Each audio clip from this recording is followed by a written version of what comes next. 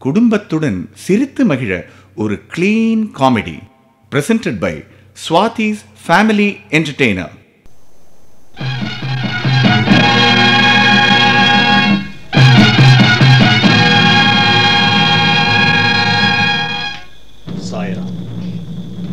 crazy மோகன் எழுதி Crazy creations நடிக்கும் ரிட்டர்ன் ஆஃப் கிரேசி தீவ்ஸ் மேடை நாடகத்தை கேட்டு ரசிக்கலாம். அடடடடடா மைதிரி என்ன இது நான் state bank of India Moolakadai branch manager ஞாபகம் இருக்கணும் எட்டரை மணிக்கு பிரான்ச் எங்க மாது கண்ணிலே தென்படல ஆமா ஒரு டைப்ரைட்டிங் மிஷினை வாங்கி கொடுத்து இந்த தடவை பரீட்சையில பாஸ் பண்ணாதான் ஆச்சுன்னு சொல்லிட்டேன் பாவம் குழந்தை இன்ஸ்டியூட் போன நேரம் போக மீதி நேரம் பூரா பிராக்டிஸ் பண்ணிட்டு இருக்கான் அப்போ மாது இந்த வாட்டி டைப்ரைட்டிங் எக்ஸாம்ல பாஸ் பண்ணுவான்னு சொல்லு என்ன மைத்திலி மாப்பிள்ளையிட்ட ரிசல்ட் வந்த விஷயத்த சொல்லவே இல்லையா என்ன? மாப்பிள்ளை மாது டைப்ரைட்டிங் எக்ஸாம்ல லோயர் எக்ஸாம் பாஸ் பண்ணியாச்சு அப்படியா? ஆச்சு இன்னையில இருந்து மூணாவது மாசத்துல மாது அப்பர் எக்ஸாமுக்கு போறா. அது அப்பர் இல்ல சுந்தரரும் இல்ல. லாயருக்கு அப்புறம் ஹையர் ஏதோ ஒரு வேழ்வு ஆனா மாது டைப் ரைட்டர் அடிக்கிற வேகத்துக்கு வலையப்பட்டி தவில் கூட ஈடு கொடுக்க முடியாதுன்னா பாருங்களேன். மாது டைப் அடிக்கிற வேகத்துக்கு டைப் ரைட்டர் தானா அடிச்சுக்கிறதுனா பாருங்களேன். ஆமா டைபிஸ்ட் உத்தியோகம் ஒரு உத்தியோகமா. இதுக்கு பதிலா ஒரு ஹார்மோனியத்தை வாங்கி கொடுத்திருந்தா பின்னாடி அவனுக்கு லக் இருந்ததுன்னா ஒரு பெரிய மியூசிக் டைரக்டரா வந்திருக்கலாம். ஆனா ஒண்ணு மாப்பிள்ளை வாங்கி கொடுத்த டைப் ரைட்டர் கிட்டத்தட்ட ஹார்மோனியம் மாதிரி தான் இருக்கு. அடிச்சா லெட்டர்ஸே விழறது இல்ல கச்சா முச்சான்னு சத்தம் தான் வருது. என்ன? அவனை பேசாம உங்க பேங்க்ல இழுத்து போட்டுக்கோங்களேன். இழுத்து போட்டுக்கிறத? இழுத்து போட்டுக்கிறதுக்கு பேங்க் என்ன பர்மா அகதிகள் முகாமா? இந்த பாரு மைதிலி ஒழுங்கா படிக்க சொல்லு. பெத்த கடனுக்கு ஒரு வேலையும் பண்ணி வச்சு ஒரு கல்யாணத்தையும் பண்ணி வச்சுடுறேன் ஆனா ஒண்ணு பழையபடி சினிமா டிராமான்னு சுத்திட்டு இருந்தா பெல்ட் பிஞ்சிடும் சொல்லு ஜாக்கிரதை. ஆமா சொல்லி சொல்லி இருந்த பெல்ட்டும் பிஞ்சுடுத்து சாயந்தரம் வரைச்ச புதுசா ஒண்ணு வாங்கிட்டு வாங்க. என்னடி இது? ஆபீஸ் கிளம்பி நேரத்துல பேண்ட்டுக்கு பெல்ட் இல்லைங்கிற பெல்ட்டுக்கு எங்கடி போவான் போ? ஒரு நாள் தானே மாப்பிள்ளை. ஷனல் கயிறை கட்டிக்கோங்க.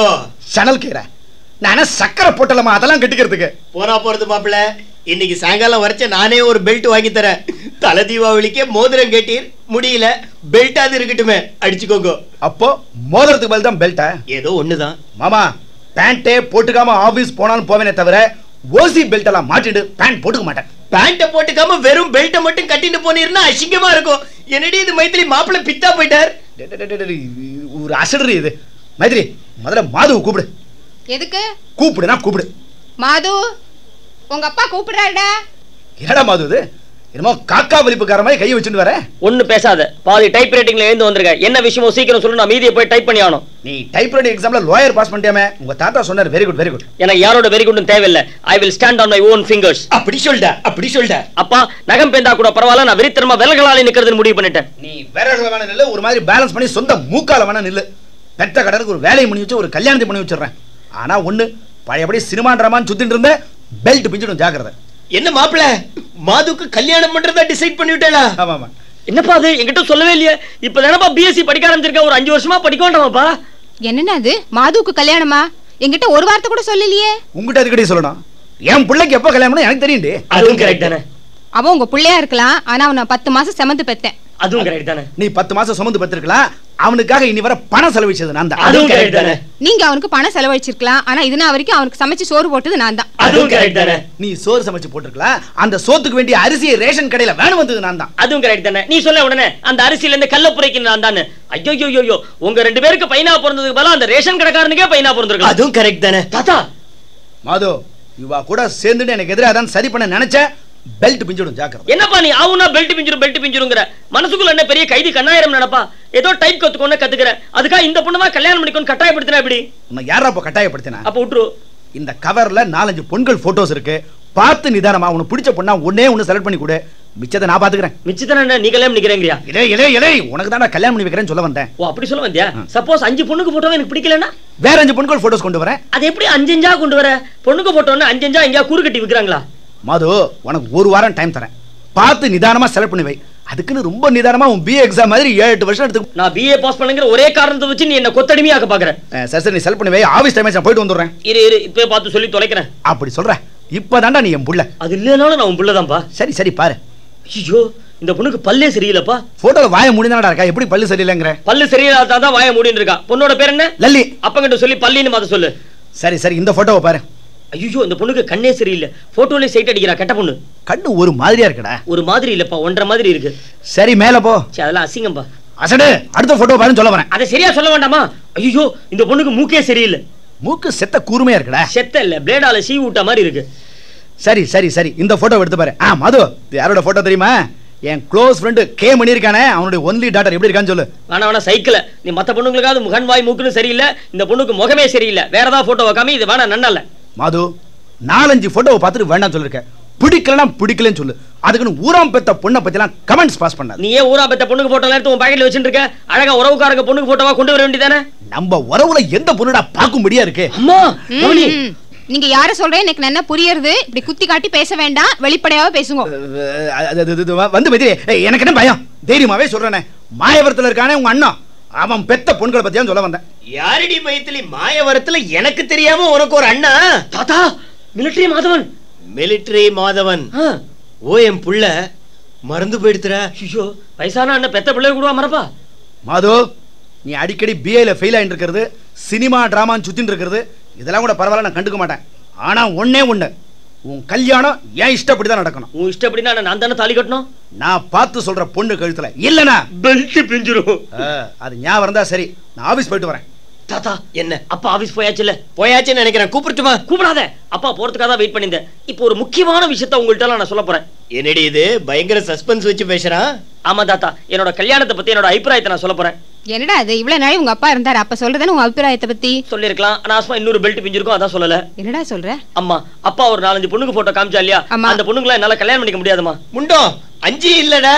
ஏதாவது ஒன்னதான் அதுவும் பிடிச்சா. அஞ்சு என்ன தாத்தா? அஞ்சு லட்சம் பொண்ணுக்கு போட்டோ கொண்டு வந்தாலும் நான் பிடிக்கலன்னு தான் சொல்ல போறேன்.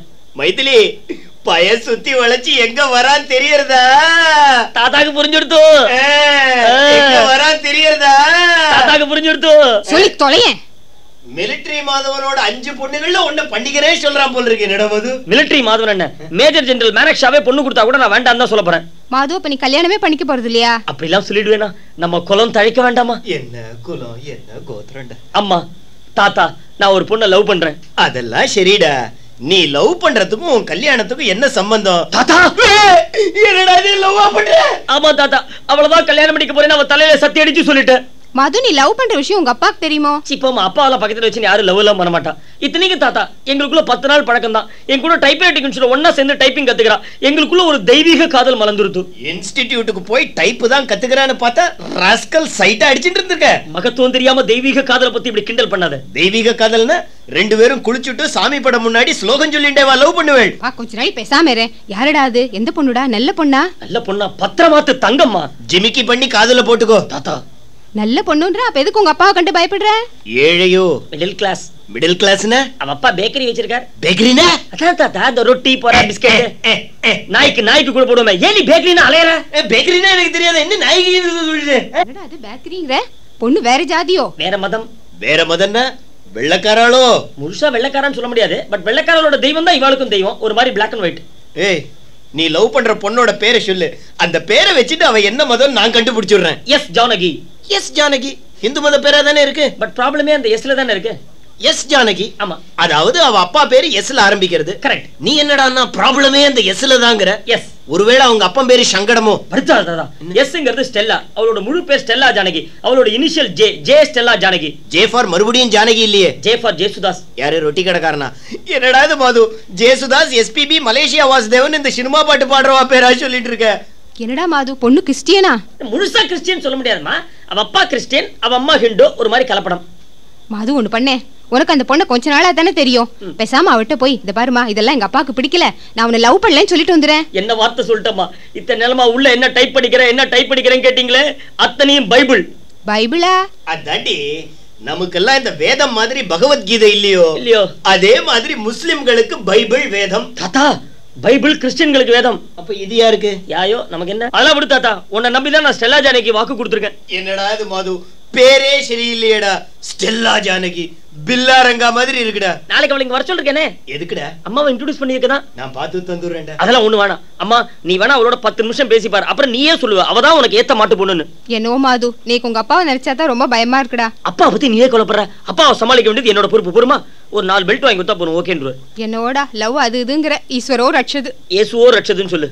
தாத்தா என்ன? இப்படி வாங்க அப்பா கிட்ட போய் நம்ம இந்த லவ் விஷயத்த சொல்றோம்னு வச்சுக்கோ. சொல்றோம் என்ன சொல்றோம்? சொல்றேன் சொல்லு.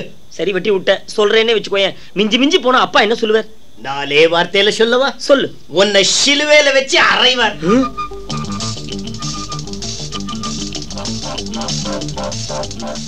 வா ஜானகி வா வா, வா. முத முதல்ல எங்க வீட்டுக்கு வந்திருக்க வலது கால் எடுத்து வச்சு வா. ஆமா ஜானகி உங்க இதுல இந்த வலது கால் எடுத்து வச்சு வரது இந்த வழக்கெல்லாம் உண்டு இல்லையா? கிண்டலா? நாங்களும் வலது கையால தான் சாப்பிடுறோம். நான் இடது கை நினைச்சேன். மது ஆயிரம் மதம் ஆயிரம் ஜாதி இருக்கலாம். ஆனா அடிப்படையா பார்த்தா சில விஷயங்கள் எல்லாமே காமனா இருக்கும். உங்களுக்கு கிருஷ்ணர் எங்களுக்கு கிரைஸ்ட் ரெண்டு பேருமே ஆடு மாடு மேய்ச்சாங்க. நானும் பகவத்கீதை படிச்சிருக்கேன். மாதங்களில் மார்கழின்னு கிருஷ்ணரே சொல்லியிருக்காரு. எனக்கு கண்ணதாசன் சொல்லி தான் தெரியும். அம்மா ஜானகி நம்ம ரெண்டு பேர்ல யாராவது ஒருத்தர் மதம் மாறிட்டா என்ன எதுக்கு மதம் மாறணும்? எங்க அப்பா கிறிஸ்டின் எங்க அம்மா ஹிந்து. கடைசி வரைக்கும் ரெண்டு பேர் மதம் மாறலையே. ஓஹோ. எங்க அப்பாவோட அம்மா பேர் ஸ்டெல்லா எங்க அம்மாவோட அம்மா பேர் ஜானகி. நான் ஸ்டெல்லா ஜானகி. நமக்கு பையன் பிறந்தா என்ன பேர் இருக்கிறது? இப்ப என்ன அவசரம் அதுக்கு? என்ன விளையாடுற நீ? இப்பயே பையன் பேர் டிசைட் பண்ணாதான் நாளைக்கு எல்கேஜி அட்மிஷன் எல்லாம் கிடைக்கும். ஆ இப்படி வச்சுப்போம். பையன் பிறந்தா ராம இயேசு.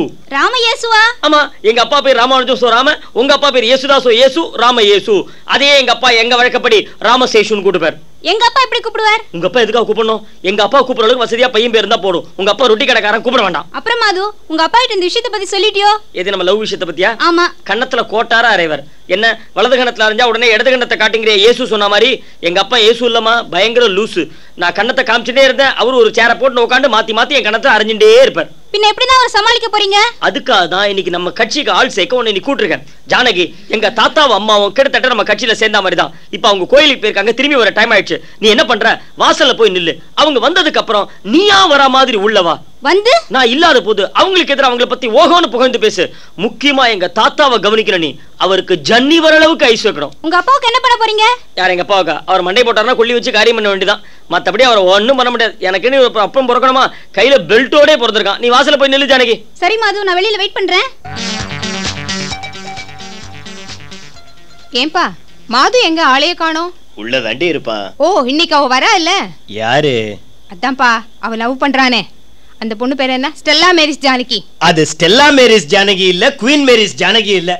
மாட்டு பொண்ணு பேரை சரியா சொல்லி தொலை. என்ன பேரு? நீ தான் சொல்லி தொலையேன். ஸ்டெல்லா ஜானகி. ஐயோ. மணி நாலாயிடுத்தே. உங்க மாப்பிள்ளை வரதுக்குள்ள அந்த பொண்ணு வந்தா பாத்துலாம் பார்த்தா இன்னும் ஆளையே காணோம். சோ ஸ்டெல்லா ஜானகிய பார்க்க நீயும் ஆசைப்படுற? நாம ஆசைப்படுறோமோ பள்ளியோ? அவன் ஆசைப்பட்டாச்சு. பேசி பாப்போமே நல்ல பொண்ணா இருந்தா நாம எதுக்கு கல்யாணத்துக்கு குறுக்க நிக்கணும்? சரி சரி நான் உள்ள போறேன். வந்தானே என்ன கூப்பிடு. சரி சரி நீ போ. கேடு கட்டு போட்டு நமக்கு என்னடி? வாமா யாருமா நீ?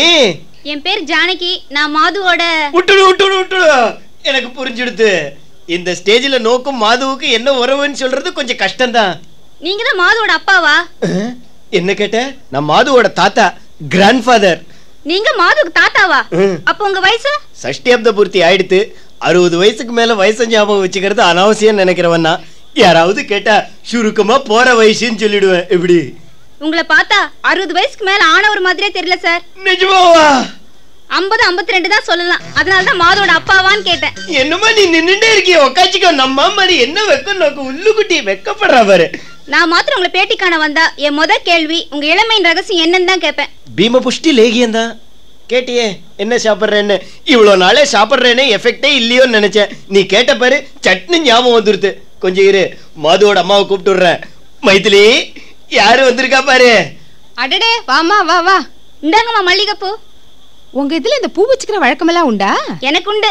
ப்ராப்ளமே ஓவர் மாது இவ கழுத்துல தாலி கட்டுறதுக்கு கொடுத்து வச்சிருக்கணும். தேங்க்யூ சார் என்ன சார் மோர்னு? நான் மாதுவுக்கு தாத்தானா நோக்கும் தாத்தா தான் சும்மா தாத்தானே சொல்லு. சாரி உங்களை தாத்தான்னு கூப்பிடவே எனக்கு மனசு வராது. ஓஹோ நீ மறுபடியும் அந்த இளம ரகசியத்துக்கே வரியா? இங்க பாருமா நான் பார்க்க எவ்வளவு எங்க இருந்தாலும் காட் ப்ராமிஸ் நான் மாதுவோட தாத்தா தான் தாத்தானா நீ நம்பணும் இப்படி எல்லாம் அடம் பிடிக்க கூடாது. தாத்தா கூப்பிடு. ஐயோ பா கொஞ்ச நாள் பேசாம. நான் தாம்மா மைத்திலி மாதுவோட அம்மா. எங்க அம்மா பேர் மைத்ரேயி ஆ மாது சொன்னா சொன்னா. அப்படியா? எங்க அப்பா ஏசுதாஸ் கிறிஸ்டின். யாரு? இந்த ரொட்டி கடை வச்சிருக்காரு அவர் தானே? ம். ஏம்மா இந்த அரிசியை விட இந்த ரொட்டியில தான் சத்து ஜாஸ்தியாம அப்படியா? நீங்க ராத்திரி சாப்பாட்டுக்கு பதிலா ரொட்டி சாப்பிட்டு பாருங்க. அடுத்த தடவை நான் உங்களை பார்த்தா நாற்பது வயசுன்னு தான் சொல்லுவேன். என்னம்மா நீ? போற ரேட்ல என் வயசை குறைச்சுட்டே போய் நான் இன்னும் பிறக்கவே இல்லைன்னு சொல்லிடுவேன் போல இருக்கேன் உள்ளுக்குட்டி உச்சு உச்சு புச்சு. ஐயோ பா கொஞ்ச நாள் பேசாம இரு. ஏம்மா உங்க அம்மா உங்க அப்பாவுக்கும் லவ் மேரேஜாமே ஜேசுதாஸுக்கும் மைத்ரேயிக்கும் ஜாதகம் பொருத்தம் பார்த்து கல்யாணம் பண்ணி வச்சா. என்னடி இது வீரமண்டு மாதிரி பேசிட்டு இருக்க? அறிவு கட்டுத்தனமா பேசுறியே. சே சே சே சே சே சே சி பாவம். பெரியவங்க தெரியாம சொல்லிட்டாங்க. இதுக்கு போய் கிண்டல் பண்றீங்களே? பெரியவங்களா? யாரு மைத்திலியா? அவ என் பொண்ணுமா? என்னை விட மைத்திலி வயசுல சின்னவ. என்னை விட பார்க்க பெரியவளா இருக்கிற அளவுக்கு நான் எங்க இருக்கேன்? அட ஒரு மரியாதைக்கு பெரியவங்கன்னு சொன்னேன் அவர் இல்லையா? எவர்? அதான் உங்க பேரன். சும்மா பேரை சொல்லுமா. இந்த காலத்துல ஹஸ்பண்ட் பேரை சொல்றது ஃபேஷன் தான். சும்மா மாதுனே சொல்லு. என்ன இருந்தாலும் என்ன கட்டிக்க போறவரை பெத்தவங்க எதிரில் பேரை சொல்றது எனக்கு என்னமோ தப்பா படுறது. சரி சரி. ஏதானு சாப்பிடுறியா? சாதாரணமா வெளியில நான் எதுவும் சாப்பிடுறது இல்ல உள்ள அழிச்சுட்டு போய் கூடேண்டி. பரவாயில்லம்மா. இன்னொரு நாள் ஏதாவது சாப்பிடுறேன். இன்னொரு நாள் என்ன இன்னொரு நாள்? நீ எப்படி இந்த ஆத்துக்கு பர்மனண்டா வரப்போறவதான் வா. அதுதானே அதுதானே சரி இரு மாதுவை கூப்பிடுறேன். மாது மாது. ஏய் வட வட வட வட வட. அம்மா அம்மா ஐயோ நான் அவளை கூப்பிடல அவளாதான் வந்திருக்கா. அம்மா இதுதான் ஸ்டெல்லா. இது ஸ்டெல்லா அதுதான் ஜானகி. சி அது? ஸ்டெல்லா இது ஜானகி. போருண்டா. இவ்வளவு நேரம் நான் அவளோட தான் பேசிட்டு இருந்தேன். மாது எனக்கு அவளை ரொம்ப பிடிச்சிருக்கு. அப்படியா? ஒரே வார்த்தையில சொல்ல போனா இப்பவே நான் சாவி கொத்த அவட்ட கொடுக்க ரெடி வெரி குட் எதுக்கும் உங்க அப்பா வேண்ட ஒரு வார்த்தை கேட்டுக்கோ. ஐயோ அப்பா கிட்ட போய் இதை சொன்ன கைய கால உதறிட்டு காக்கா வலி போத்த மாதிரி கத்துவேன். அப்புறம் சாவி கொத்து அப்பா கையில கொடுக்க வேண்டியிருக்கும். மது. ஜானகி கழுத்துல. தாலி கட்ட வேண்டியது. என்னோட பொறுப்பு. தாத்தா! ஏய் நோக்கு சொன்னேன் இந்த பார் இந்த விஷயத்துல நம்ம ரெண்டு பேருக்கு தகராறே வரக்கூடாது ஆமா ஐயே என்னடா இது? அசட்டத்தனமா பேசிட்டு இருக்க? நோக்கு சொன்னேன் ஐயே பேசாத இது மாதிரி. ஏப்பா கேட்கவே இல்லையே. நீ என்ன படிச்சிருக்க? பிஏ பாசா? ஆச்சரியமா இருக்கே. பாஷாண்டி. என்ன பாசாண்டி பிஏ பாஷாண்டி. என்ன பாசாண்டி பாஸ் பண்ண மாட்டாங்களா? இல்லையே பாஸ் பண்ணலையே. எல்லாரும் நம்மள மாதிரியா? நம்மள மாதிரி இல்லையே இவ பாஷாண்டி. பிஏ பாஸ் பண்றது ஆச்சரியமா இருக்கா? இந்த ஆத்த பொறுத்த மட்டும் பிஏ பாஸ் பண்றது ஆச்சரியம் இல்ல. உலக மகா அதிசயம். போரும் போரும். எல்லாம் அவளுக்கும் தெரியும். நானும் ஏழு எட்டு தடவை பிஏ ஃபெயிலா இருக்கேன்னு. ஜானகி எங்க தாத்தாவும் எட்டாம் கிளாஸ்ல ஃபெயில் மாட்டீங்களா?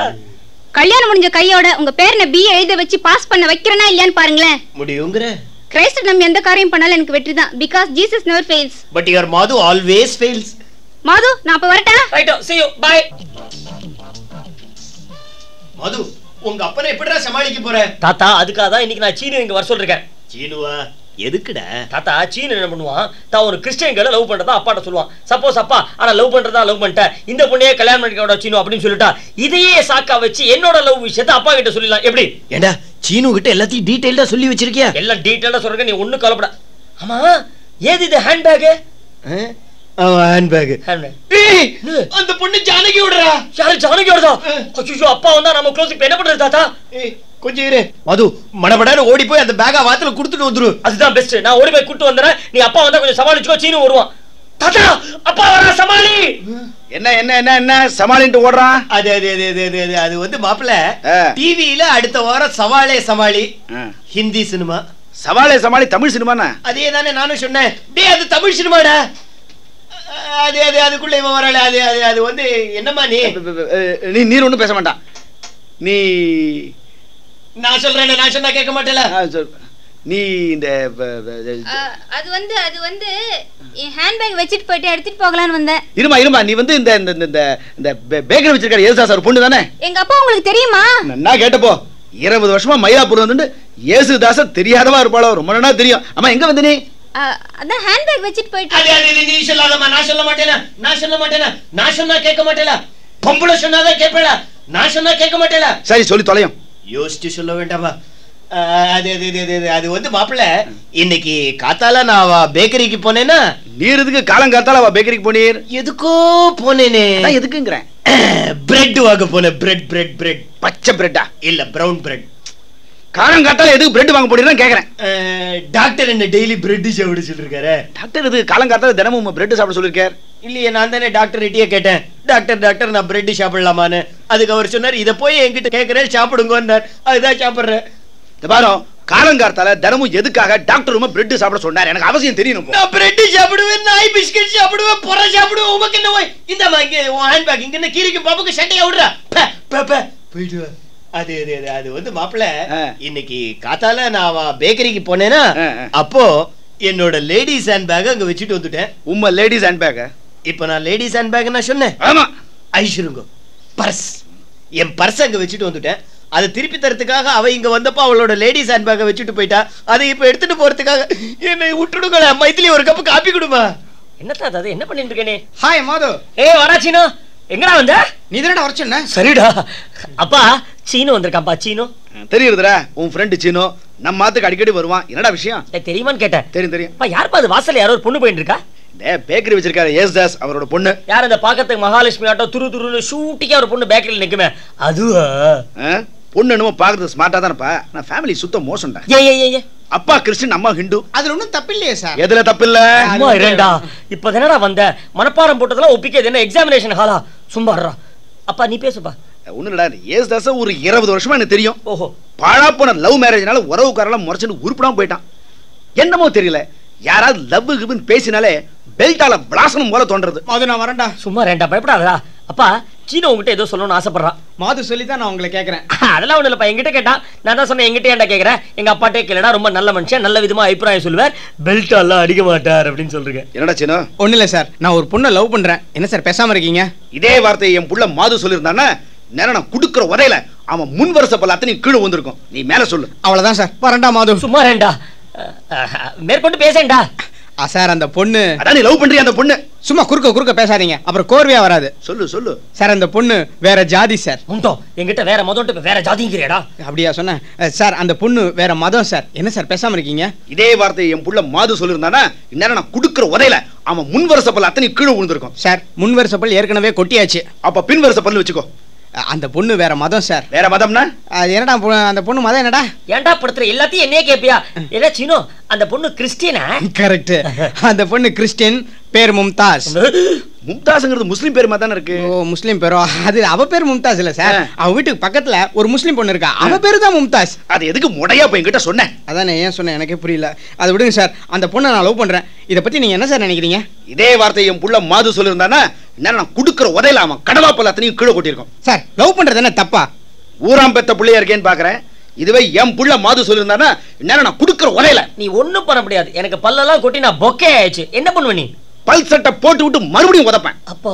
ஒழுங்கா இருக்க பாரு. இந்த ஃபெலவோட சேர்ந்து லவ் கிவன் பேச ஆரம்பிச்ச பெல்ட் பிஞ்சிடும் ஜாக்கிரதை. சரி விடுறா மாது. நான் ஸ்ட்ரைட்டா விஷயத்துக்கே வரேன். சார் உங்க பையன் மாது யாரோ ஒரு கிறிஸ்டின் பொண்ணை லவ் பண்ணி உங்களுக்கும் தெரியாம கல்யாணம் பண்ணிட்டு உங்க காலில் வந்து விழுந்து ஆசீர்வாதம் பண்ணுங்கன்றான். என்ன சார் பண்ணுவீங்க? மன்னிச்சிருவேன். அப்பா அது வருண்டா அது எனக்கு ரொம்ப தேங்க்ஸ்ப்பா ரொம்ப தேங்க்ஸ் உம்மா.